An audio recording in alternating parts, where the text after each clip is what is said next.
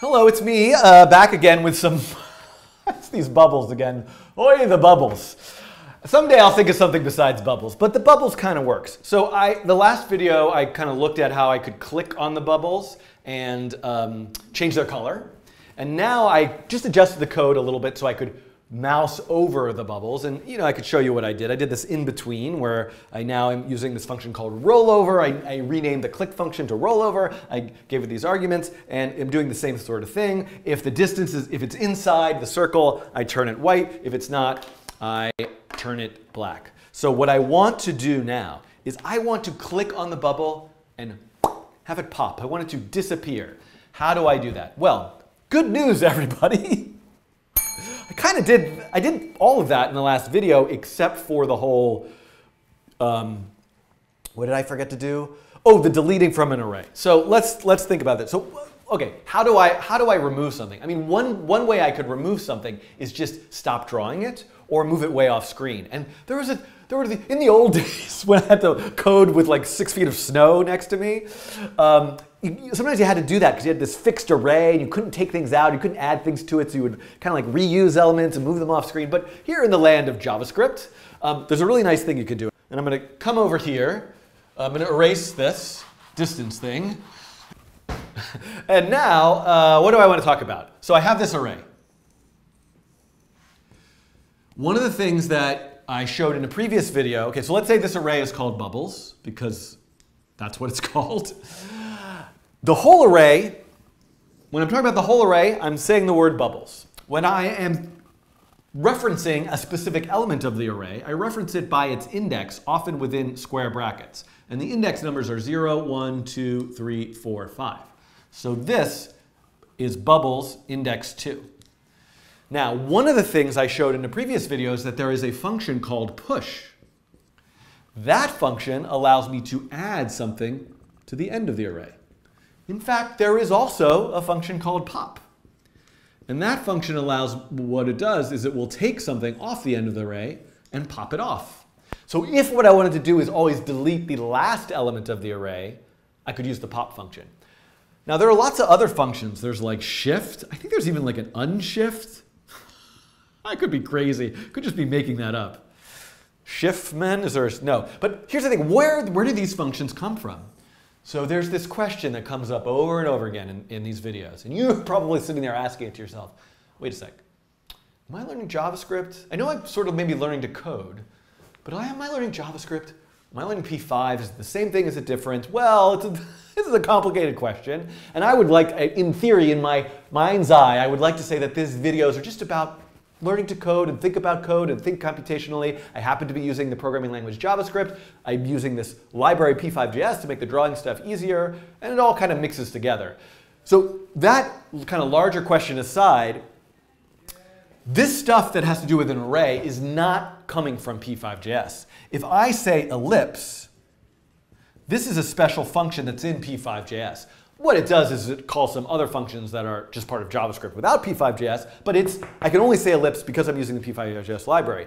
These functions don't come from P5JS. They come, they're just part of the JavaScript language. So how do I find out a list of these and how I can use them? Come back over here with me.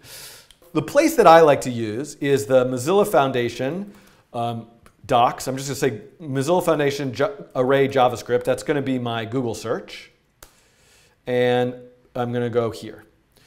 So this is, here's the thing. One of the reasons why I like using P5JS in tutorials is, ah, look, here's the reference. Here's all the stuff. It's kind of like one page of functions. It's actually a lot of stuff, but it, it's kind of self-contained and it's, it has a smaller world view, so to speak. It's like it's, it's a walled garden, so to speak.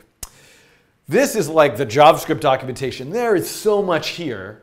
Um, you couldn't possibly, I mean, you could, but it would be, it would take you a long time to read through everything. But here I am, at least on a page that's giving me some information about arrays. And you can see, uh, look, oh, but there's this, what is that? Oh my God.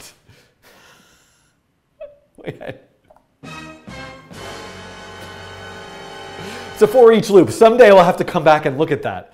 And what does that do and why would you use it? Oh my God, my goodness. Okay, but you can see here, look, pop, oh shift. I'm not, oh not crazy, shift, unshift. You can see what these functions do. Where are you? You're over there. And look, there's a whole list of them. So let's look through them. Maybe we can find one that removes something from an array. Concat, copy within, entries, every filter, find. Oh, I got it. Oh, for each.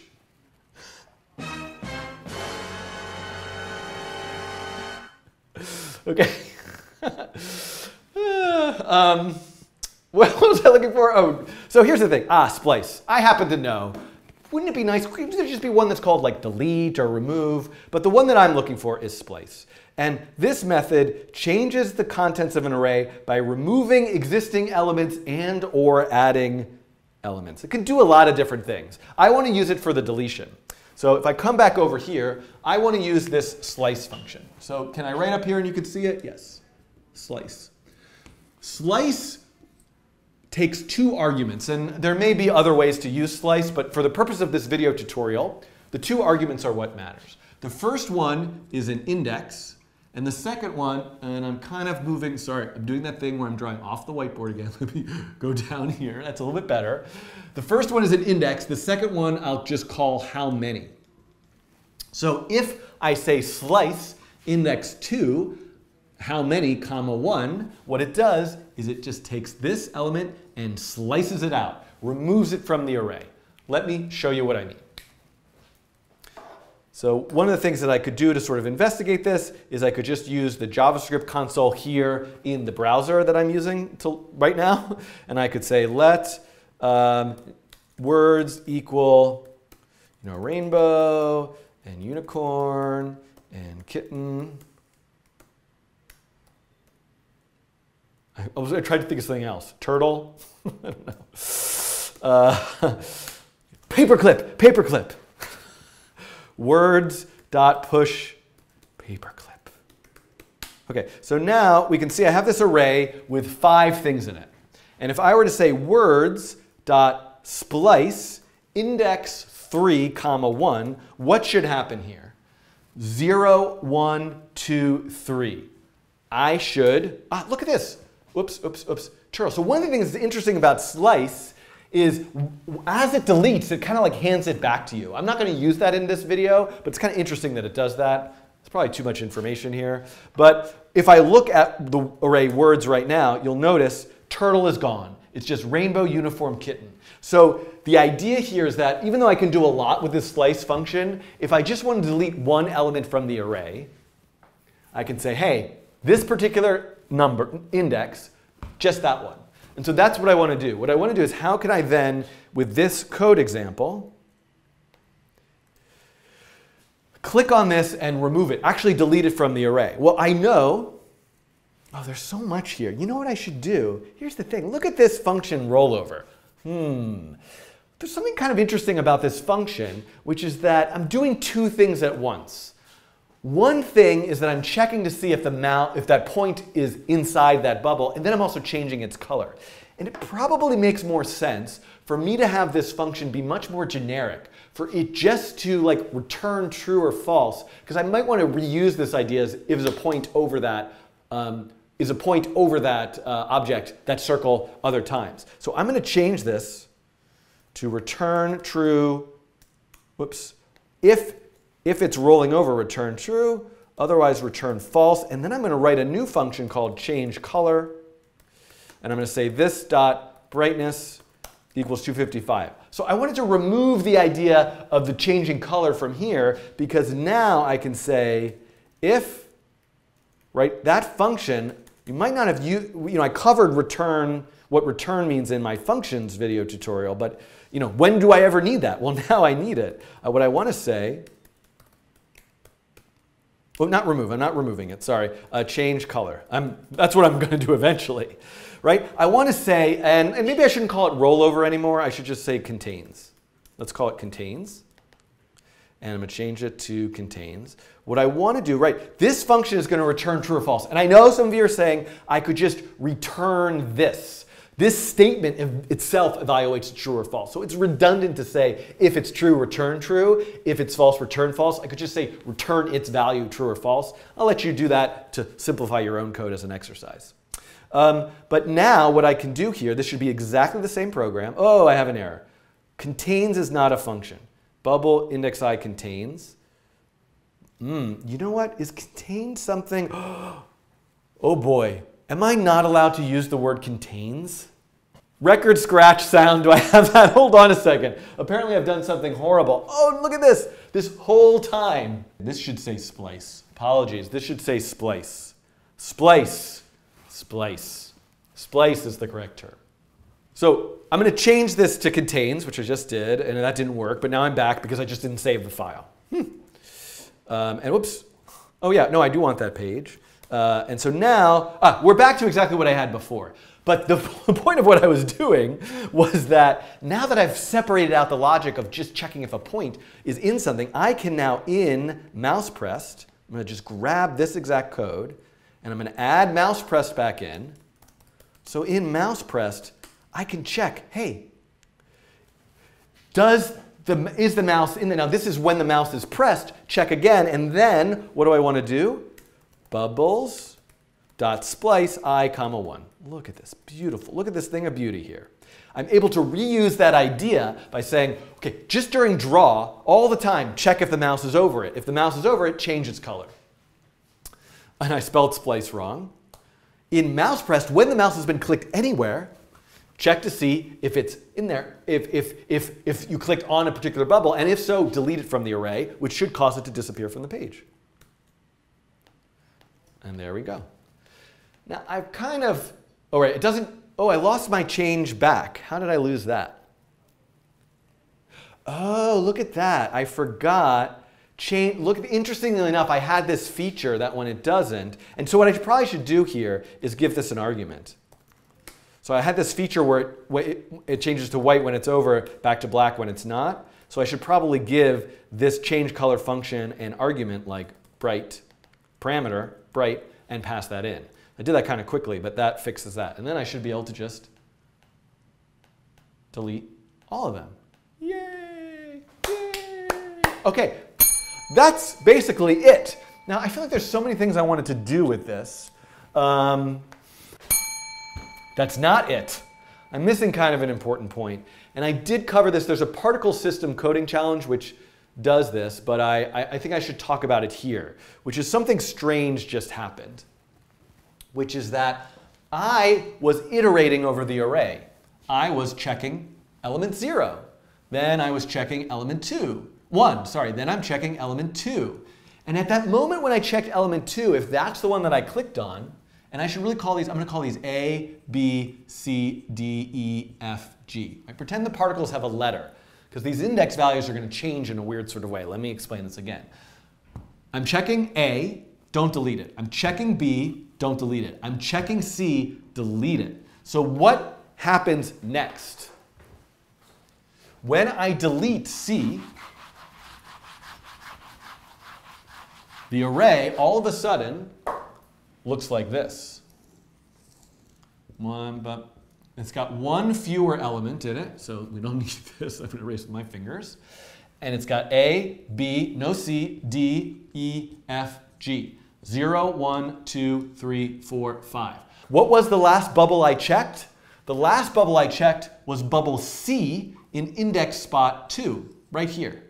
So if I is going up by 1, the next thing it should check is index 3. And, but this is what the array looks like now. So if I check index 3, now I'm going to check and see, should I delete E? What happened? I didn't bother to check D because as soon as I removed C, D becomes 2, moves to index spot 2, and my counter moves up. So I could do something like, if I could add like an I minus minus. So I could say like, oh, if I'm deleting something, like set the index back to go check the next one. Um, there's a bunch of different ways around this. Probably if I used that for each loop, Um, maybe that would help me somehow. But, uh, but honestly, in this case, it doesn't matter. I, you know, if I look at this, like, there's nothing wrong, nothing bad happens. Now, it only would it only would be bad if it so happens that I try to delete two of them at once, and the other one that I delete happens to be the next one in the array. So uh, none of these are overlapping right now. uh, so let me try to delete both of these. They both deleted, but I could get bad luck where the, I'm hovering over both of these until only this one gets deleted and this one doesn't get checked. So again, I could decrement the index, but another way I could do it is if I'm actually iterating through the array backwards. It doesn't matter if I remove something and the array slides chunks back over, I'm still going towards the beginning. I won't miss any. So you'll see that in a lot of my code examples. Some people like to say i minus minus. I prefer, generally speaking, to, if I'm deleting stuff from the array, to start at the end, which is bubbles dot length minus 1, then have my iterator go down minus minus, and then uh, where, am I, where do I end? I go all the way down to the first element, which is at index 0. The last element is the length minus 1. Like if there are five of them, 0, 1, 2, 3, what? 4? if there are five of them, 0, 1, 2, 3, 4. So start at 5 minus 1, 4, go all the way down to 0. So let's just make sure that this works. And it does. Still the same exact result. I can delete, I can hover over and delete all of them. So there you go. Um, this is a little video about clicking and removing things from the array. There's some other things or things I could do. Ah, you know, here's the thing. The, the, the point of me telling you about this going backwards thing is, is more to say that, hey, if you are manipulating an array while you're iterating over it, you should probably be careful. What if, for example, I were adding elements to the array while I'm iterating? Then I could maybe never get to the end. Um, before I finish, I want to add one, I'm, I'm just going to redo this example a little bit just to demonstrate one thing. I'm going to put it back to the version of it which, um, sorry, which had me, where I added bubbles whenever I drag the mouse. I'm going to say mouse dragged. And I'm going to um, just, uh, I'm going to add bubbles at the mouse and something like uh, just give them all the same size just for simplicity right now. So what, I, what this should do is give me back to this. I'm kind of drawing with these bubble objects. The reason why I'm showing you this is this I think might allow you to be a bit more playful in how you think about removing. For example, one thing I could do is um, I could say just if bubbles.length is greater than, uh, is is greater than uh, 10, bubbles dot splice 0 comma 1. So I'm saying like, hey, only just only ever have 10 elements in that array. And there's, maybe there's maybe I could use shift there to like remove just the first one, but and you can see this is gives me this kind of like snake-like thing. But notice as I let go, each one of these is still an individual object. Now, I, have lost the clicking on it thing, but I, and I can come back. So there, I think there's some more possibilities. There's almost like a little object that's uh, like a little thing that's storing its history. And the reason why I thought of this is I have another video. This is a kind of a hard exercise, but um, something you could think about. What if this were its own object and you had a bunch of these on the screen? So I have another video that about objects storing their own path um, that, I'll, that I'll link to from this video. Um, and so hopefully now you've got some ideas about how to remove things from an array. Thanks for watching.